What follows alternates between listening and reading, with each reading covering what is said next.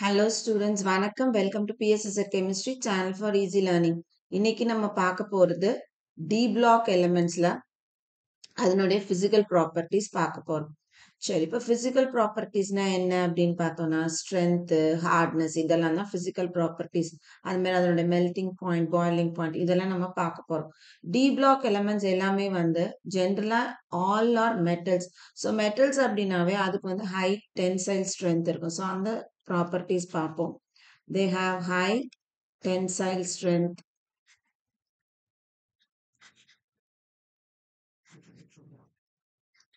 அதுக்கப்புறம் பார்த்தோம் அப்படின்னா ductility malleability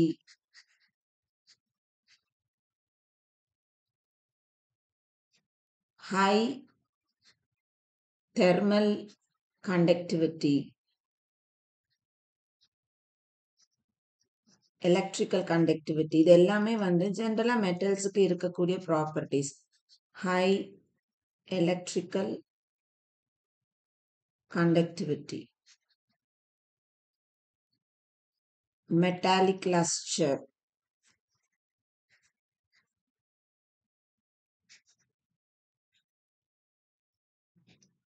சரி அதே மாதிரி தே தே ஆர் ஹார்ட் சொல்லலாம். ஹார்ட்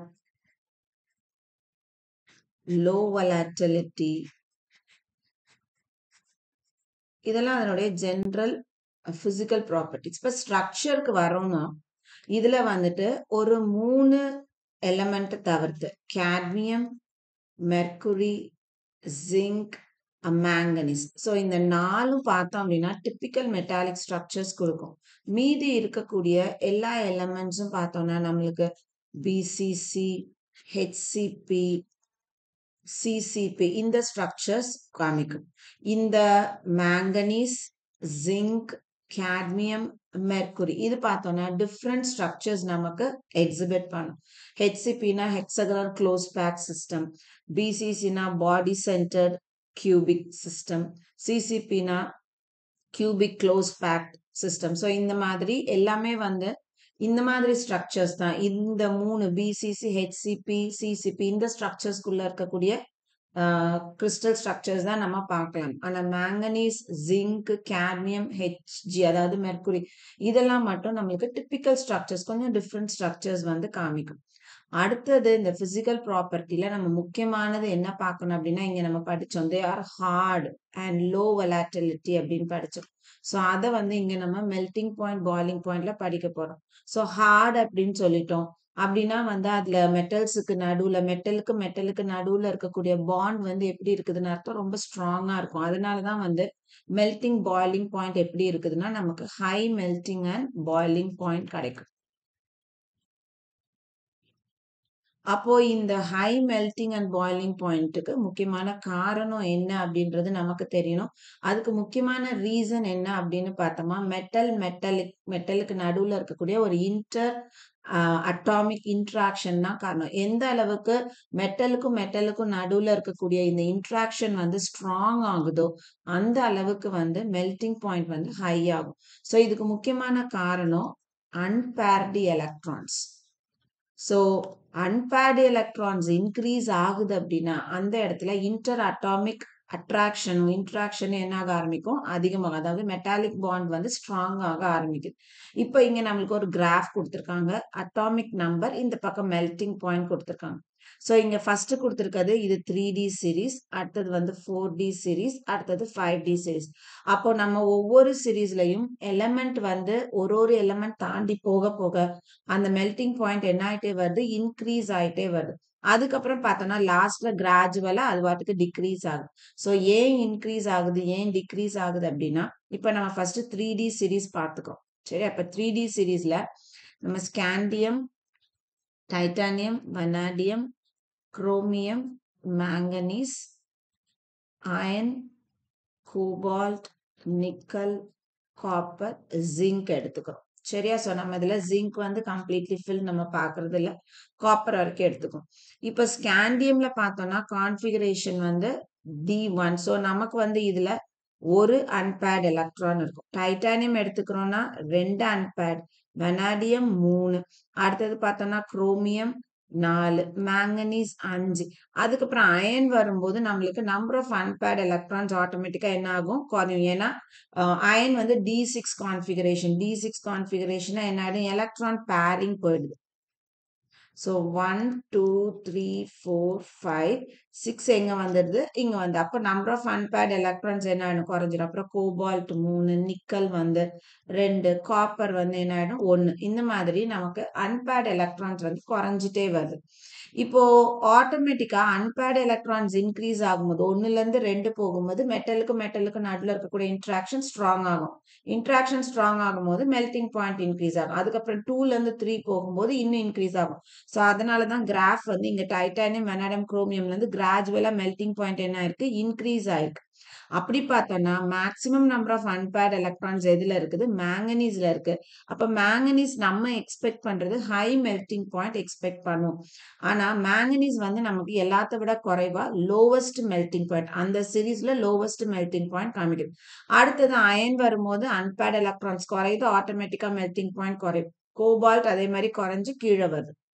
இப்ப ஏன் வந்து இந்த மேங்கனீஸ் மட்டும் நம்மளுக்கு லோ மெல்டிங் பாயிண்ட் காமிக்குது? அதே மாதிரி ஃபோர் டி சீரீஸ்ல பார்த்தோம்னா அந்த சென்டர் எலமெண்ட் டெக்னீஷியம் என்ன பண்ணுது? லோ மெல்டிங் பாயிண்ட் காமிக்குது. ஏன் அந்த மாதிரி ஒரு அனாமலஸ் பிஹேவியர் காமிக்குது அப்படின்னு பார்த்தோம்னா இதுல எல்லாம் வந்துட்டு D five half filled stable configuration so ஏற்கனவே இது ஸ்டேபிளா இருக்கிறதுனால இது என்ன பண்ணாது? அதனுடைய எலக்ட்ரான்ஸை அடுத்த இன்ட்ராட்டாமிக் அட்ராக்ஷனுக்கு கொடுக்காது இன்வால்வ் பண்ணாது. அப்படியே இன்வால்வ் பண்ணாலும் ரெண்டு பேருக்கு நடுவுல இருக்கக்கூடிய அந்த பாண்டிங் வந்து ரொம்ப வீக்கா இருக்கும். அப்போ பாண்டு வீக் ஆகும் பொழுது நம்ம கொடுக்க வேண்டிய எனர்ஜி என்ன ஆகும் கம்மியாகும் பாண்டை உடைக்கிறதுக்காக நம்ம கொடுக்க வேண்டிய எனர்ஜி ரொம்ப குறைவா இருக்கும். அதனால மெல்டிங் பாயிண்ட் என்ன ஆகுது? குறையுது. ஸோ எந்த அளவுக்கு பாண்ட் வந்து ஸ்ட்ராங் ஆகுதோ அந்த அளவுக்கு அந்த அதை உடைக்கிறதுக்காக நம்ம கொடுக்க வேண்டிய எனர்ஜியினுடைய அளவு அதிகமாகும். அதனால தான் ஸ்டார்டிங்ல பார்த்தோம் அப்படின்னா அன்பேட் எலக்ட்ரான்ஸ் இன்க்ரீஸ் ஆக இன்க்ரீஸ் ஆக இன்ட்ராட்டாமிக் இன்ட்ராக்ஷன்ஸும் இன்க்ரீஸ் ஆகுது. ஸோ பாண்ட் ஸ்ட்ராங் ஆகுது மெல்டிங் பாயிண்ட் அதிகமாகுது. நடுவில் மேங்கனீஸ்ல வந்து ஏற்கனவே ஸ்டேபிள் ஹாஃப் ஃபில்டு கான்ஃபிகரேஷன் இருக்கிறதுனால அதனுடைய இன்டர் அட்டாமிக் இன்ட்ராக்ஷன்ஸ் வந்து குறைவா இருக்கு. ஸோ அந்த குறைவான ஒரு பாண்டுக்கு உடைக்கிறதுக்கு நம்ம கொடுக்க வேண்டிய எனர்ஜி ரொம்ப குறைவு. அதனால மெல்டிங் பாயிண்ட் குறைவு. சரி இதுதான் வந்து மெல்டிங் பாயிண்ட் இப்போ இந்த மெல்டிங் பாயிண்ட்டுக்கு இன்னொரு ஒரு முக்கியமான ரீசன் என்ன அப்படின்னு பார்த்தோம்னா atomization. சரி enthalpy ஆஃப் atomization.